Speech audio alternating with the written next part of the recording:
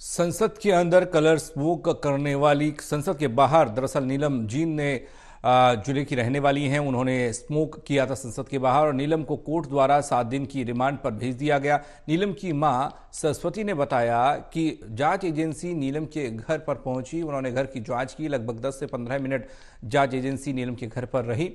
तलाशी ली गई। पुलिस कर्मचारी भी यहाँ पर मौजूद थे। घर वालों और नीलम के जो रिश्तेदार थे वो यहाँ मौजूद थे जिनसे बातचीत की गई।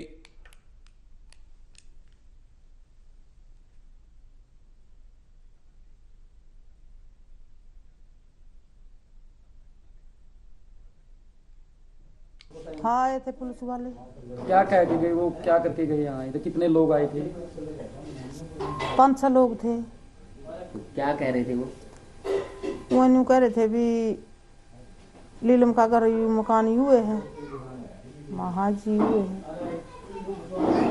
एक उसमें गन वाला भी था, एक पुलिस वाला भी था। फिर वो बोले भी कौन सा कमरा लीलम का वो ऊपर भी आए, नीचे भी तलाशी ली, मेरे बच्चे सोए थे।